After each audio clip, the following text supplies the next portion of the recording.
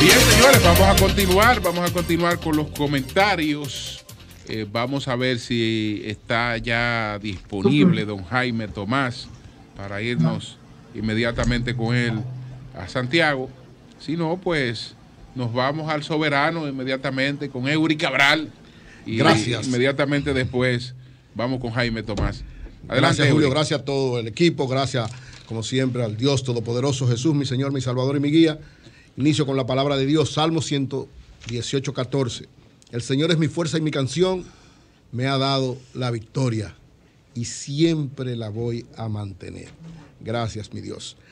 Bueno, anoche fueron los premios soberanos, eh, realizados ¿verdad? en una situación muy especial porque la pandemia limitó de alguna manera algunas cosas y además eran dos premiaciones porque el año pasado hay que recordar que no se hizo. Entonces este año de alguna manera fue la suma de los dos soberanos, el del 2019 y el del 2020, que correspondía, digo 2020 y 2021, para premiar los dos años anteriores. Siempre un año la premiación reconoce el trabajo de los artistas del año anterior. Muy especial porque en el 2019 fue un año normal, pero el 2020 no. Entonces había que dar ciertos niveles de cuidado en cada una de las cosas que hacen. En sentido general, yo lo vi un espectáculo, como siempre, el tiempo es un asunto difícil para los productores. René Brea hizo un tremendo trabajo, pero lógicamente el tiempo fue bastante largo, muy largo. La- la- el preacto de 7 a 9 de la noche y el, Ahora, ahora Eury, escúchame que te interrumpa. Ajá. Porque que tú- ¿Y cómo que Hanoi le va a hacer eso a Leonel? ¿Qué le hizo Hanoi? Oh, Hanoi se fue. Hanoi Sánchez, la, la alcaldesa de San Juan. Si consiguió la candidatura por la fuerza del pueblo. Sí. Entonces con la alianza se fue, el PRM la apoyó. Sí. Pero ya ella mandó al esposo al PRM y en unos días ella se jura, ella, ella ¿Se va para el PRM? No, ya, ya ella mandó al esposo adelante al PRM. No, pero eso no. Ah, a, a- a Leonel. Ah, no, sí. Hanoi. No, pero lo malo es que hubiese vuelto al PLD. Pero Está buena esa. está bien así. No, no, no, pero ya, ya, mandó, ya mandó al esposo adelante y la familia dice adelante. Y entonces ya. Bueno, a los. ella- Pero ese ah, caso eh, no es extraño. A ese gente- caso no es extraño en, A la gente que da muchos en la saltos. selva política dominicana, entre los partidos, eso es muy común aquí. Lenchi, el que da muchos saltos pierde la confianza en todos. Sí, pero no estamos hablando cuántos saltos ha dado ella. Bueno, todos los saltos del mundo. No, ya serían tres. Ya, Bueno, ya- ya no serían. Sería eh, de, eh, de Leonel a Danilo. Brin- eh, de Danilo a Leonel. No, no, no, porque No, ella siempre no, ha sido de pero Leonel. Perdona. siempre ha sido de Leonel. Claro, Ella claro. siempre ha sido de Leonel. El asunto es abandonar a Leonel en esta etapa Y ahora dice. porque ella parece que ve. Abandonar el Bueno, pero eso lo que estamos es, lo que estamos es viendo el futuro. Eh, Eh, eso no, es, pero ese no. futuro no ha llegado. No, Pero- pero, pero ya, el esposo, no es el ya, el esposo, PRD, ya el esposo fue eh, y se juramentó. En el PLD hay va diputados de PLDistas cuyos esposas son del- de, la fuerza del pueblo. Sí, y se pero, mantienen pero fuerza tiene una característica especial. Por más que tú le quieras dar vuelta, Lenchi. No, no sé cuál es la característica. Tal vez pasa también en las casas de nosotros, pero en la casa de Hanoi manda Hanoi.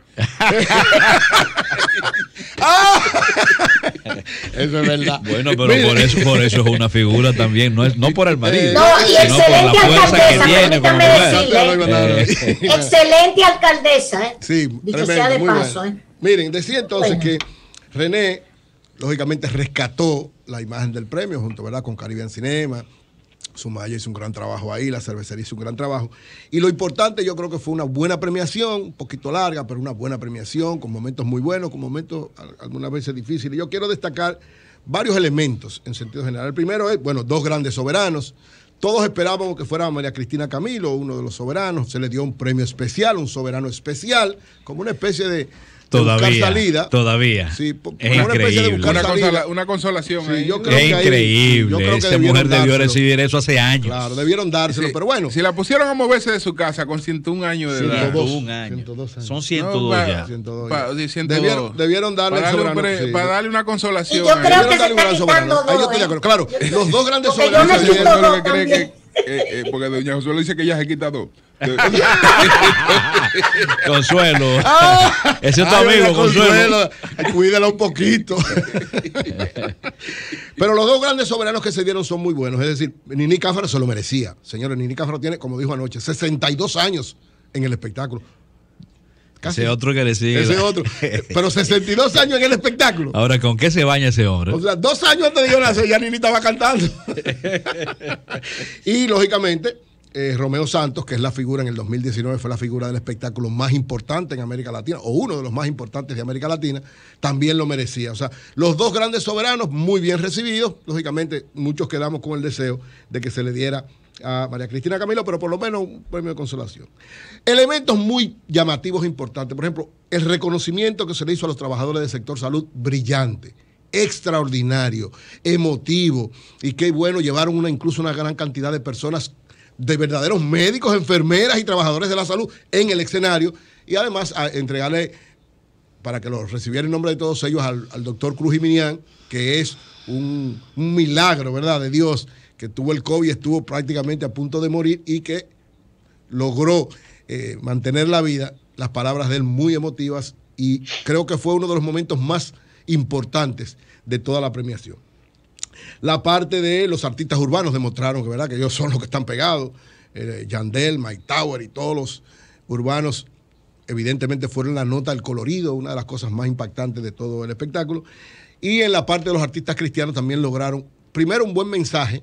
Creo que fue muy bien logrado el mensaje, desde el mensaje que dio Raymond hasta las canciones vinculados los cristianos, los cristianos evangélicos y los cristianos católicos en la música, fue un bonito, una bonita parte del espectáculo, y el mensaje que dio eh, eh, Raymond de que este es un momento de profundizar y mantener cada vez más la fe. Eh, el, reconocimiento también a José Esteban y la Patrulla 15 es uno de los mejores momentos. Incluso es, esta parte fue mucho mejor que el, reconocimiento y el trabajo que se hizo para el merengue. Merengue a todo lo alto quedó, tal vez pues como fue pregrabado y, y el manejo no fue, desde mi punto de vista, tan, tan impactante. Y lo de José Esteban sí fue sumamente impactante, logró conectar con el público presente y televidente, logró manejarse muy bien, tanto él como Ringo, y los mensajes también muy buenos. Lo de Juan Luis, muchos pensábamos, muchos creíamos que Juan Luis iba a estar presente de manera física en el propio espectáculo o que su actuación iba a ser también en la sala de fiesta del Jaragua, fue grabada en la Torre del Homenaje, en la Fortaleza Osama, en eh, un escenario muy bonito, pero eh, se dijo un reconocimiento a los 40 años de la salida de, a los 30 años de salida de, de Bachata Rosa, pero fue solamente una canción, Rosalía, que es la canción que le está promocionando. Y evidentemente, aunque fue muy bonito, muy emotivo, no se vio, por lo menos así no lo vi yo, como parte propiamente del espectáculo del soberano. O sea, fue como, fue como traído y, no tuvo tanta significación. Y fue una pena, de verdad. Porque Juan Luis, el artista más importante, más trascendente de la historia de la República Dominicana moderna, y pienso que debió tener un poquito más de significación esa parte, pero bueno, así eh, veremos a ver qué pasa de ahora en adelante en otras premiaciones. El otro elemento importante, reconocimientos que se hizo a varios artistas, en el caso de Felipe Polanco, muy merecido ese reconocimiento, en el caso de la Orquesta Sinfónica, también muy, merecido reconocimiento, y en el caso de Osuna, por la actitud solidaria, ahí se dieron una serie de informaciones de trabajos sociales que hace tanto en Puerto Rico como en República Dominicana, y eso son cosas que merecen ser reconocidas. Elementos que creo que debilidades, muy largo, esa es una los productores de los soberanos tienen ese. Siempre hay una gran dificultad con el. Pero es que había como cuatro tiempo. productores, imagino que cada uno. No, no, en el caso de René, porque René era el principal. Incluso tengo la información, había, un, había una parte de montaje preparado con todos los salseros para hacer un reconocimiento a varias de las personas que han fallecido, entre ellos a Johnny Pacheco, que debió hacerse un reconocimiento especial también. Pero bueno, eh, pero los, los salseros no pudieron presentarse por el tiempo y es lamentable, de verdad, todos estaban preparados. Sé que ahí hubo un problemita y, y Acroarte y la cervecería van a tener que buscar una salida a eso, porque prepararon todo, ensayaron todo, tenían todo listo. Incluso, yo no sé si ustedes se dieron cuenta, que en el momento en que premiaron al salsero no quería salir. Estaban todos como medio insubordinados, porque lógicamente le dieron que ya no iba la parte de ellos y se sintieron un poquito mal en ese aspecto. Ojalá que este tipo de cosas no vuelvan a suceder reconocimiento a varias personas, Manny Cruz, por ejemplo, varios premios y además el testimonio que dio también muy bueno, muy bonito, eh, el Torito también. Y creo que una de las cosas importantes eh, que nos da como experiencia es la consolidación del premio, la consolidación de Acroarte. Acroarte ahora pasa, como he dicho, a una situación muy especial porque hay elecciones para la nueva directiva el próximo, el primer eh, sábado de, julio. O sea, ahora inmediatamente empieza la campaña, ya está abierta, pero estaba esperando que pasara el premio. Esperamos ¿verdad? que Emelín Valdera sea que sustituya a Alexis Beltré. Hasta ahora es la, única candidata oficial, aunque se mencionan varios nombres, pero hasta ahora es la única candidata oficial de, para la presidencia de Croarte y evidentemente tiene un reto que es seguir manteniendo esto que se logró. Alexis Beltré, quien habló al final de la actividad, fue que entregó los dos soberanos, eh, logró consolidar a pesar de la pandemia y a pesar de la situación que se presentó en las elecciones del año pasado en Acroarte, del año pasado en Acroarte, logró consolidar la, el gremio, logró pasar el momento difícil del 2020 y logró comprometer a la Cervecería Nacional Dominicana para que se hagan de aquí en adelante nuevamente los premios con la connotación y la dimensión que siempre se necesita. Quiero hacer un reconocimiento especial a mi hermano y amigo Iván Ruiz. Señor Iván Ruiz tomó el show del mediodía en uno de sus momentos más difíciles prácticamente en el, en el suelo y logró levantarlo, crear una dinámica nueva, una producción nueva, un contacto con la gente, una telerrealidad, una serie de elementos. Y ayer ganó programa diario de variedades del 2019 y 2020, los dos, los dos eh, soberanos de los dos años como programa de variedades. Y realmente Iván, que es un hombre sumamente creativo, innovador, ha demostrado que, que sabe producir televisión y que sabe conectarse con la realidad, la telerrealidad, que ha logrado impactar la forma en cómo lo ha manejado, el, cambio que le dio al show del mediodía, eh, le ha dado realmente grandes, grandes resultados. El pre-show, algo importante, siempre el pre-show era un problema para los productores, sin embargo ahora el pre-show quedó muy bien. O sea, la etapa inicial antes de ir al espectáculo propiamente dicho fue muy bien manejada. Eh, por todas las personas que estuvieron ahí. Se logró hacer presentaciones en el pre-show y premios en el pre-show. Lógicamente, por la realidad, por la situación para no juntar tanta gente en un mismo sitio. Y entonces esto le dio diversidad al pre-show, que a veces se hacía canzón en otros momentos. Este fue muy, muy manejado, muy bien, muy bien logrado en todo, en todo el sentido. Entonces creo que caminó muy bien en ese aspecto y tiene que ser valorado ahí. René tuvo visión en torno a esto. Las dos presentadoras lograron en varios momentos manejarse muy bien. El guion tuvo muchas debilidades. No sé quiénes manejaron el guion pero tuvo algunas debilidades y hubo momentos que no debieron haber estado. Por ejemplo, yo no hubiera puesto, si hubiera sido yo que lo manejo, la parte de, Miguel. El, personaje de Miguel, realmente incluso tú te dabas cuenta que no cuadraba, fue muy largo, fue muy extenso. En vez de ese segmento yo hubiera puesto a los salseros, hubiera sido mucho mejor.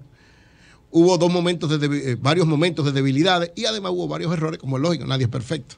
Hubo varios momentos donde se anunciaron cosas que no eran, no aparecía un momento donde no apareció quién era que ganaba. O sea, hubo varias situaciones, pero evidentemente fruto de, de la situación especial en que se estaba dando. En sentido general, muy bueno el espectáculo.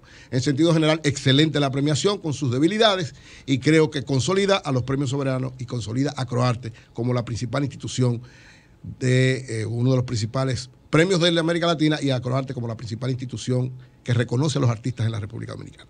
A propósito de, Iván Ruiz. Iván Ruiz, brillante, excelente. Felicitaciones, nos, sumamos.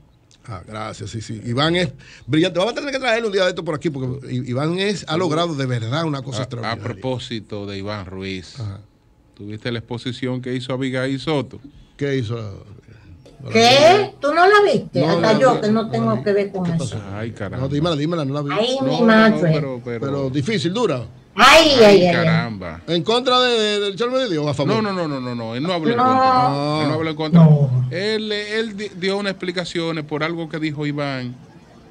Él, que, eh, por algo Iván, pero eh, él ahí dice algunas cositas. Ah, pero voy a tener que hablar con. Sí, sí, sí. Con Abigail. Dice algunas cositas. Abigail salió del show del mediodía. Sí, sí. ¿Por Porque si Abigail era uno de los que le daba fortaleza. Pues mira, yo no me había enterado de eso. Voy a hablar con Iván a ver si Ay, me mediar también ahí. A, otra vez. A mí me gusta ser mediador en todo, porque a eso me llama el señor. Porque, Concéntrate. Sí, voy a tener que, mediar, voy a tener que eh, mediar. Entre otras cositas, Iván dice, tú sabes que, dice Abigail que eh, él lo sacaron porque él defendía el gobierno corrupto de Danilo, pero que dice Iván que es verdad que ese gobierno era corrupto.